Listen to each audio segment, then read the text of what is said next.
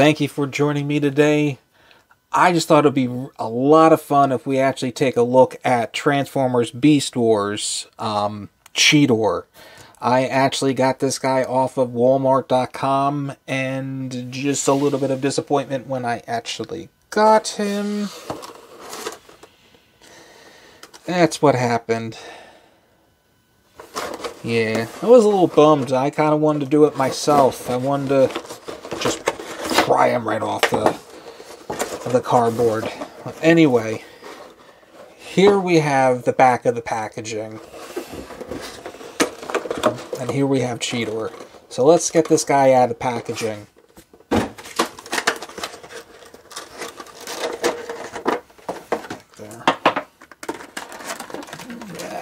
Right. Here we have Cheetor out of the packaging. And oh my god, does this just bring back memories. Oh my god, my brother and I, we had these figures when we were younger, and just having it back in hand is just brings back memories. This is this is incredible. Um, I don't know if it's actually the original mold. Uh, I know it's original mold, but I just don't know if this is the original original uh, Cheetor. But I, I'm just I'm just amazed by this. This is an incredible retro figure. Uh, this is this is incredible. The green, the green eyes, um, just the little white teeth that we have on the, the fangs that he has, the black nose, his spots, the blue that we have in the back here, the little blue that's showing up. I understand the concept that was going, so I'm not going to be really net this nitpicky about the blue showing up underneath the belly. This is this is awesome. Just want to show off what Cheetor looked like when he's actually on the table. Posability uh, and animal mode or beast mode.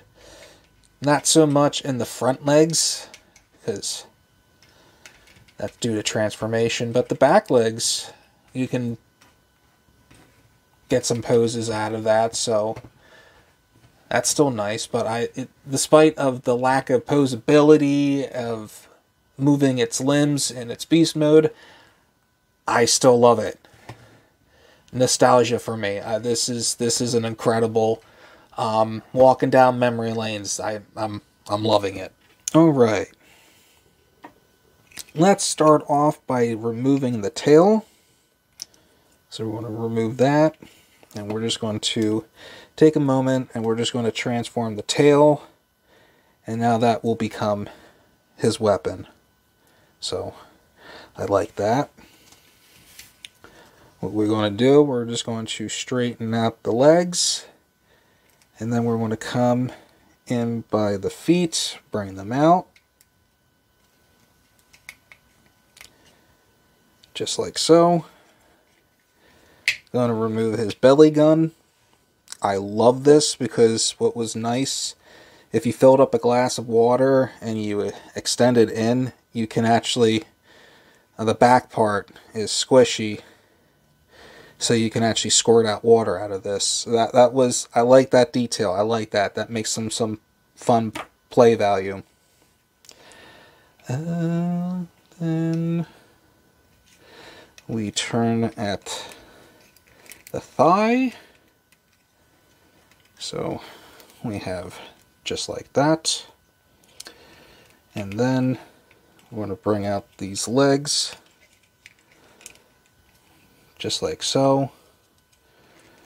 We're just going to bring the arms out by bringing, oop,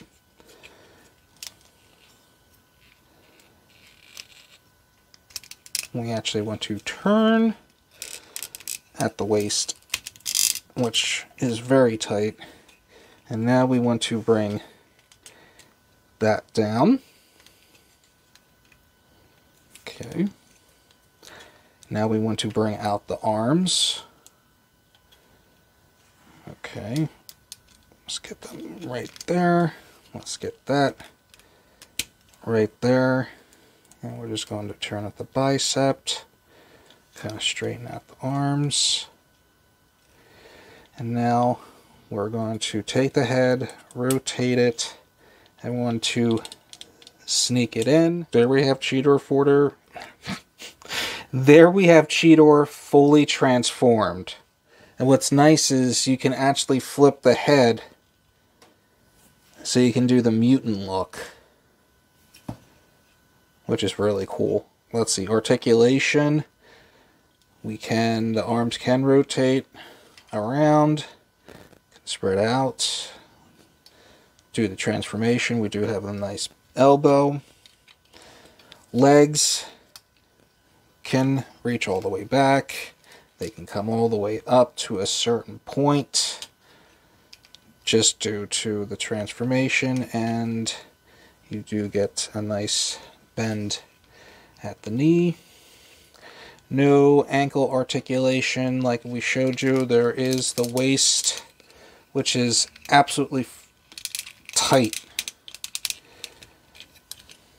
But, yeah.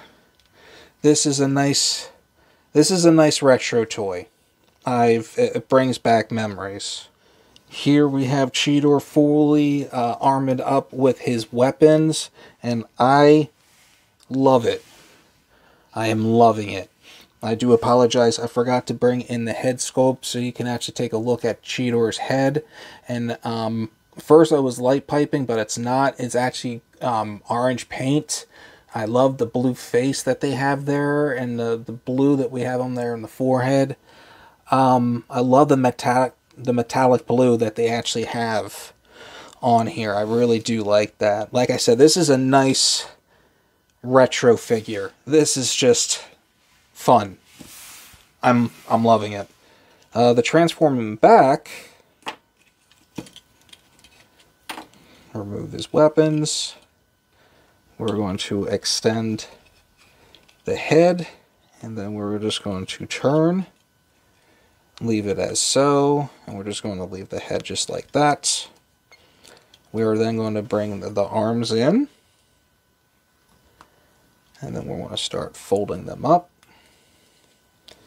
Same thing on this side. Oop. There we go. And have that click under place. We're going to take this part and that will stay just like so. We'll then bring up these legs. Just like that. We're going to turn at the waist.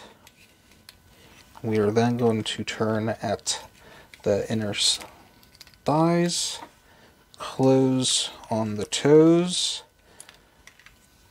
get those legs bent, get his tail weapon, and then we're just going to get it transformed back to be his tail. And we have two ports and we do have two pegs, so we're just going to get that in. The underbelly, we're just going to get this part in between, just like, oh, come on. There we go. And now we have Cheetor fully transformed back into his beast mode. This is awesome. I just wanted to show a quick update from the retro version and from what we actually got from the Kingdom line.